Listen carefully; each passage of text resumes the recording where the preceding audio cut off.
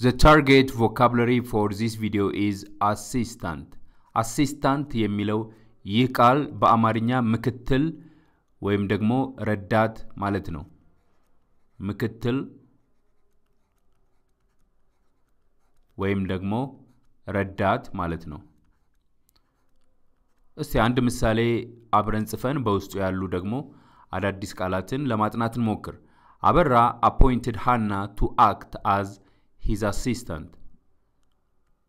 Avera appointed Hannah to act as as his assistant. All right. አዳዲስ ቃላት እዚህ አረፍተ ነገር ውስጥ ያሉ በጣም በርካታ አሉ። አበራ የሚለው ይሄ የአረፍተ ነገሩ ባለቤት ነው። አበራ subject ነው ወይም ደግሞ የሰው ስም ነው። appointed የሚለው ደግሞ appointed የሚለው ቃል መሾም ማለት ነው። መሾም።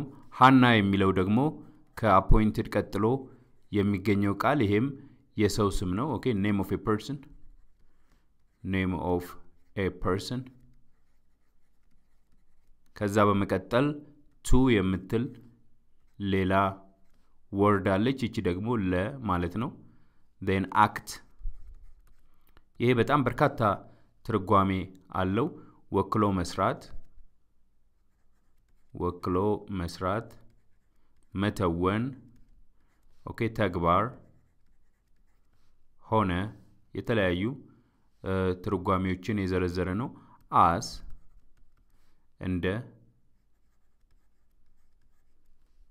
his እርሱ ወይም የእርሱ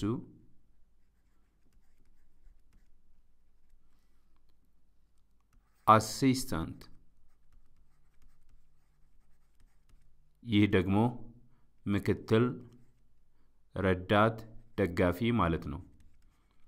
okay እንግዲህ ቃላቶቹን በዚህ አይነት ዘርዝረን ካወጣናቸው ቪዲዮውን እዚህ ጋር ካቆማችሁ በኋላ ከላይ ያለውን አበራ appointed ሃና to act as his assistant የሚለውን በአማርኛ ለመግለጽ ትሞክራላችሁ። ቪዲዮውን አቁማችሁ ከዛ እኔ ደግሞ መልሱን አስቀምጥላችኋለሁ። በተለያየ መልኩ ልትገልጹ ትችላላችሁ፣ ግን በሀሳቡ ዙሪያ መሽከርከራችሁ የግድ ነው የሚሆነው።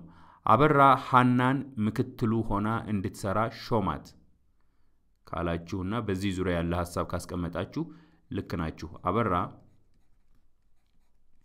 ሃናን ምክትሉ ሆና ሆና እንድትሰራ ሾማት።